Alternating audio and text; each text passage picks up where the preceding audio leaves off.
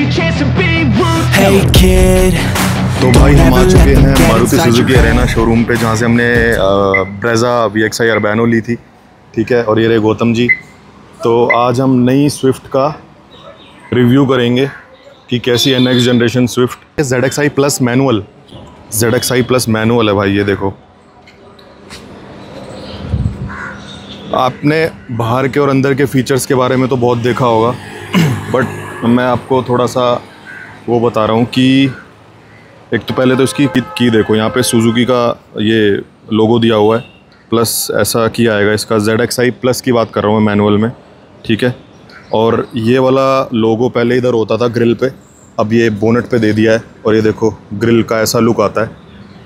और ये हार्ड टैक प्लेटफॉर्म के ऊपर बना हुआ है मीन जो इसका बेस है पूरा इससे क्या होता है कि जो शॉक लगता है गाड़ी में चलाते वक्त, वो इवनली डिस्ट्रीब्यूट होता है। तो स्टेबिलिटी प्रोवाइड करता है गाड़ी में।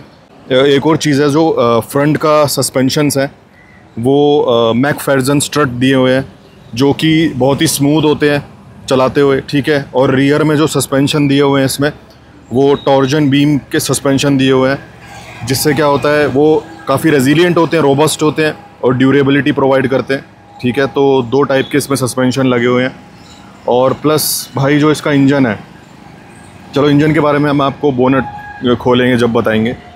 प्लस इसमें एक और फीचर दिया हुआ है, जो की है, और ये एक सेंसर दिया हुआ है तो की को अपनी पॉकेट में रखेंगे, इसके कुछ मीटर के पास आएँगे, और इसको दबाएँगे तो ये खुल जाएगा अपने आप ही। तो ये एक फीचर दिया हुआ है।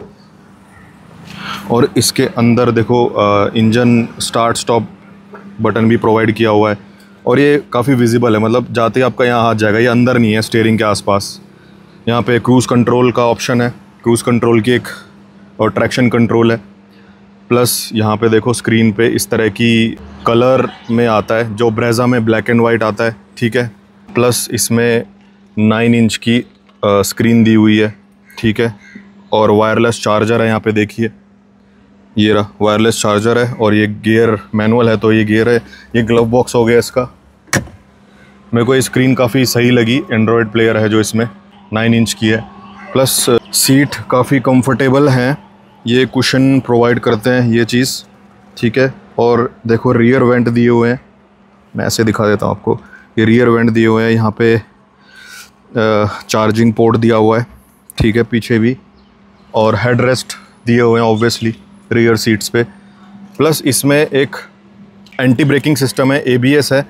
उसके साथ साथ इसमें इलेक्ट्रॉनिकली ब्रेकिंग डिस्ट्रीब्यूशन टेक्नोलॉजी का यूज़ किया हो गया ताकि एबीएस के साथ साथ जब स्टेयरिंग ताकि लॉक ना हो ब्रेक लगाते वक्त तो एंटी लॉकिंग ब्रेकिंग सिस्टम होता है। उसके बाद ईबीडी का टेक्नोलॉजी दी हुई है इलेक्ट्रॉनिक बेस ब्रेकिंग डिस्ट्रीब्यूशन जिसकी वजह से इवनली डिस्ट्रीब्यूट हो जाती है पावर इलेक्ट्रॉनिक ईबीडी के वजह से। इसमें यहाँ पे प्रोजेक्टर हेडलैम्प दिए हुए हैं एलईडी ठीक है? और जो बेस वेरिएंट है उसमें हेलोजन वाले दिए हुए हैं और डीआरएल ये रहे और इंडिकेटर यहाँ पे है और फॉग लैम्प फॉग लैम्प भी है यहाँ पे। तो भाई इसमें इलेक्ट्रॉनिकली स्टेबिलिटी प्रोग्राम भी दिया गया जिससे गाड़ी स्टेबल रहती है ड्राइविंग के थ्रू हिल होल्ड असिस्ट भी दिया गया है ये देखो वाइपर आ गया।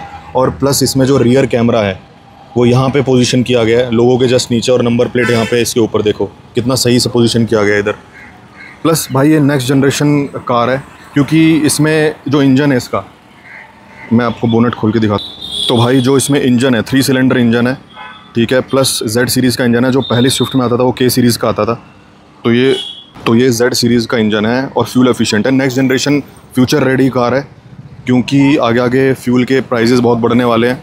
तो इन्होंने क्या किया है कि पहले से ही थ्री सिलेंडर देके और कंपनी क्लेम कर रही है पच्चीस की माइलेज ठीक है।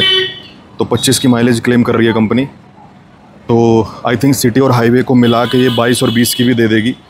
और इसमें जैसा कि थ्री सिलेंडर के साथ एक्सपीरियंस होता है गाड़ियों का वाइब्रेशन जो नॉइस थोड़ा सा हल्का सा आता है, वो आएगा ही इसमें, बिल्कुल आएगा। तो और प्लस इसमें लो एमिशन है, जो जेड सीरीज़ का इंजन है 1.2 लीटर का है। और प्लस इसमें लो एमिशन और माइलेज अच्छी खासी आपको मिल, देखने को मिल जाएगी यहाँ पे। यहाँ पे जो सीट दी हुई है ना, यहाँ पे चाइल्ड वाली जो सीट होती है, वो भी अच्छी तरह से लॉक हो जाएगी यहाँ पे। इसका बूट स्पेस मैं आपको दिखा देता हूँ। देखिए, काफ़ी अच्छा बूट स्पेस है। इस तरह से इसके डायनेमिक्स हैं, देखो भाई गाड़ी के अंदर। भाई नेक्स्ट जनरेशन स्विफ्ट का 1200 सीसी का इंजन है, जो कि 5700 आरपीएम पे 60 किलोवाट का पावर जनरेट करती है और 111 नैनोमीटर का टॉर्क 4300 आरपीएम पे जनरेट करती है। तो फ्यूचर रेडी गाड़ी है, क्योंकि ऑब्वियसली आगे आगे क्या होगा कि लो एमिशन पे ज़्यादा काम होगा तो ऑलरेडी इसने लो एमिशन प्रोवाइड कर दिया है। और इसकी टेल लाइट मतलब ये बूस्टअप गाड़ी है थोड़ी सी, और सिटी राइड्स के लिए बहुत अच्छी है। तो गाड़ी की सेल भी बहुत अच्छी खासी निकल रही है। इवन आपको सीएनजी में एक डेढ़ लाख एक्स्ट्रा खर्च करने की ज़रूरत ही नहीं है। अगर थ्री सिलेंडर इंजन इस तरह से आ रहे हैं तो।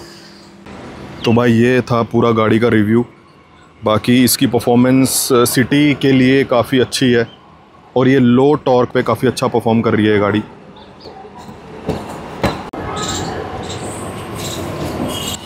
तो भाई, एक चीज़ और बतानी थी आपको। सबसे इंपॉर्टेंट चीज़ इसमें है सिक्स एयर बैग्स जो कि और सारे वेरिएंट में आपको मिल जाएँगे।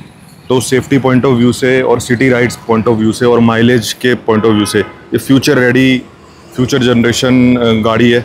भाई, इसके टायर आपको 15 इंच के देखने को मिलेंगे और फ्रंट में इसमें वेंटिलेटेड डिस्क ब्रेक है और रियर में वही अपना ड्रम ब्रेक्स है क्लासिक और बाकी डिक्की का रियर बूट स्पेस में बताऊँ तो दो सौ पैंसठ लीटर का आपको देखने को मिलेगा नेक्स्ट जनरेशन स्विफ्ट में।